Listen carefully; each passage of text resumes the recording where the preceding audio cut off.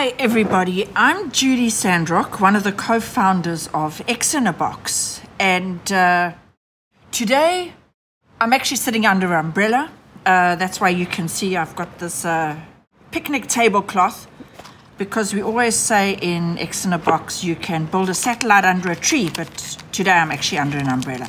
So, yeah, um, in the box, uh, you will have received a number of these bags with your XinaBox components, or as we call them, X chips, and of course, some connectors. And what I've done is that I've actually unpacked uh, a lot of it already so that you can actually see what it's like. So, today, what we have is we've got two layers of the CubeSat interfaces that we're going to be using. And you can see what I've already decided is that I'm going to have three uh, times two X chips for my uh, top payload. Uh, it's going to look like that. And then for my bottom payload, I'm actually going to have two by two. And the great thing about this interface is that one can actually um, decide are you going to have three in a line or are you only going to have two in a line because that depends very much on the payload that you're putting together. What I've also got, which is not in your kit, uh, are these spacers, and uh, I've got um, I've got the metal ones uh, as as well as the um, PVC ones, but it, it doesn't really matter. It depends very much on your application. So these are the X chips that I've decided that I'm going to have on the top um, facing outwards of my CubeSat engineering model. I have over here the SL01, which is the light sensor that is in most of our kits actually. It's uh, in our STEM starter kit um, and a number of the Arduino kits. So this one is going to give me visible light, uh, ultraviolet light as well and um, UVA and UVB. Here I've got our OC01, which is an output control, so that what I can do is that I can actually connect, um, I can actually connect to this, I can connect some wires to it, and so that what I can do is that I can actually uh, control uh, some kind of output that I want. Maybe, maybe I want to have a, a burn wire to release it from a, um, a, a parachute or a, a, high altitude balloon, something like that. So I'm going to have that on the top. Uh, then I'm, this is a weather sensor, SW02. This is a fabulous weather sensor. It gives us temp- temperature, pressure, humidity, as well as volatile organic components and compounds, volatile organic compounds, and carbon dioxide equivalent. Here I have another light sensor. As you can see, sensor light 19. This is an infrared sensor. And uh, this is actually the exact sensor that goes on the ThinSat missions uh, launched out of uh, Wallops Island, uh, Virginia, USA. It's also a fairly pricey sensor. So maybe if you decide you don't want to use this particular sensor, what you could do is you could put in our mechanical um, redundancy chip, X chip, so that what we have is we have our mechanical strength um, and we still have our I squared C and we still have our power, power lanes um, that we've uh, saved probably in the region of, well, it's definitely over $150 by, by not having this X chip in there. But for today, uh, since I have it already and I've already opened the bag, I'm going to put it in. Here we have our um, AA battery unit, and this battery unit will actually not only give us power from the batteries, but it'll also give us current and voltage, which are very, very useful uh, data sets to have because then we can actually see uh, how healthy our batteries are, how much power our circuits are consuming, or at least our, our payload is consuming. If I wanted to, I could also just have USB power that I could connect it to if I didn't want to. If, if I was doing um, desktop studies and working on a, a, workbench and not necessarily launching my satellite on a high altitude balloon, I could just use the USB power instead of using up the batteries. For our top layer, what I've decided to do is, I mean, sorry, for the bottom layer, what I've decided to do is to have the core there. Here I've selected the CS11, which has our CPU as well as a slot for an SD card. So what I'm doing is I'm going to have that on the bottom uh, over here so that what I can do is once I've constructed my CubeSat, I can actually then uh, put the SD card in and out.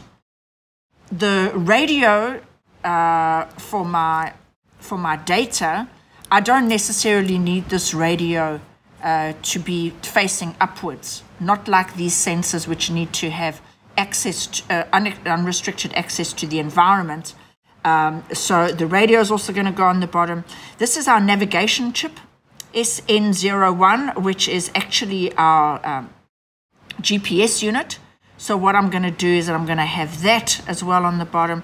And this is our SI01, which is our IMU. And this X chip will give us magnetometer, gyroscope, and accelerometer in XYZ. So this guy uh, can also be on the bottom. He can give us G-force, pitch, yaw, and roll uh, just with some clever coding and um, configuration. Right, so now what we're going to do is now we're going to start constructing our CubeSat engineering model. You can see that this is uh, the CubeSat interface. So this is the PC104 uh, connector, which is common to all CubeSats, especially student uh, CubeSats. So you can see that um, this connector will actually, you can stack them. So that's how we're going to do this, is we're actually going to, to stack our CubeSat. So what I've done is that I've already put these spaces in uh, to my bottom piece so that I can start building.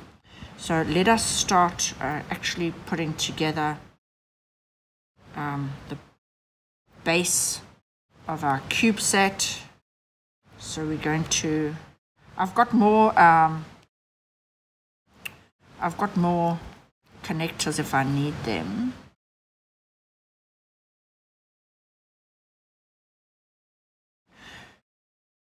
What I'm also doing is that this CS11 has got a reset button. So the thing is that I don't necessarily want the reset button to be exposed when it's flying on the balloon, but that's okay because it's going to be pretty well protected because it's going to be inside my CubeSat.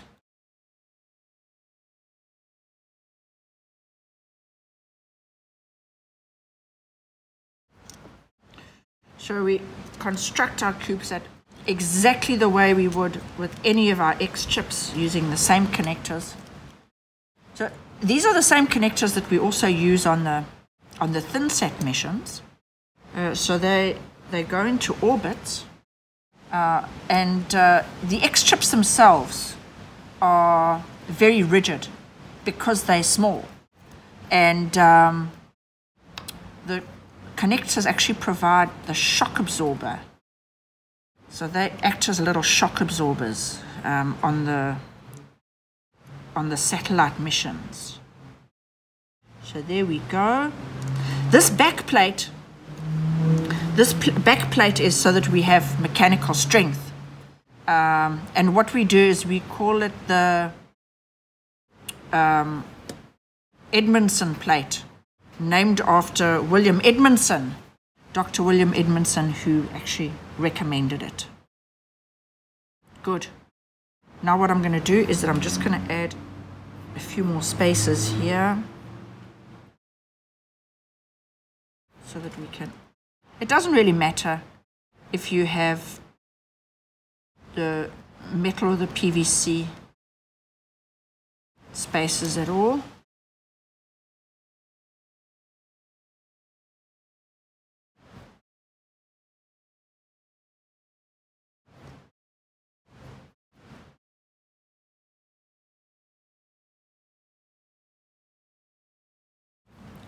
You see, the thing is, what I can do is now I can actually still access my, my SD card slot uh, because I have it on the I have it on the base. Right now, for the top of our satellite, what we're going to do is we're going to have three in a line.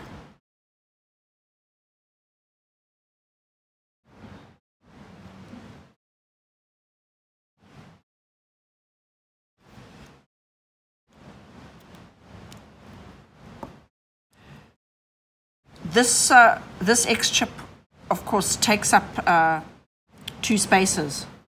So what we're going to do is we're going to put the four on the top together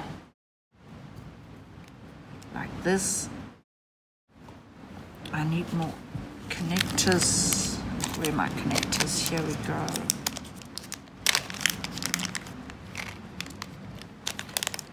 The connectors can be used multiple times. In fact, our manufacturer says we can use them up to 100 times each. But when we launch satellites into orbit, we of course use new connectors. You may find that with the, the new connectors straight out of the box, they can be very, very stiff. So don't worry. Um, you may need to apply a little force. Here we go. go.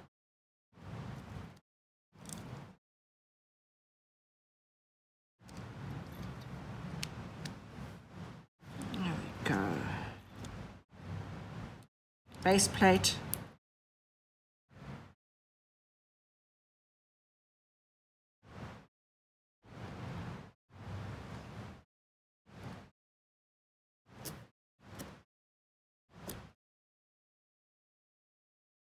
What I want to do is I actually want to put another spacer in.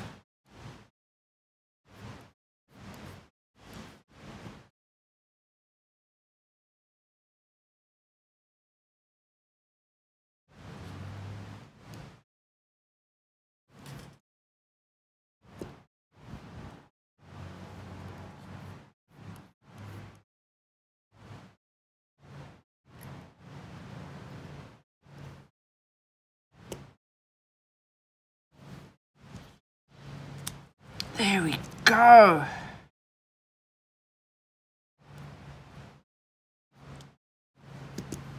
Great. So there we have it.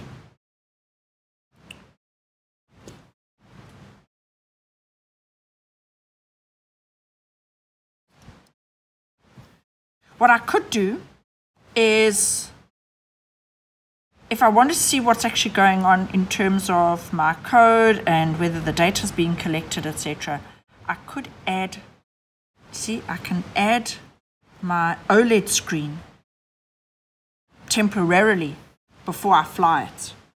Um, what I wanted, if I want to, I can actually use my USB power, just really connecting it anywhere as long as it connects to the circuit. So I could actually connect this directly to the bottom over there. Now we have our CubeSat engineering model and we can actually start to experiment.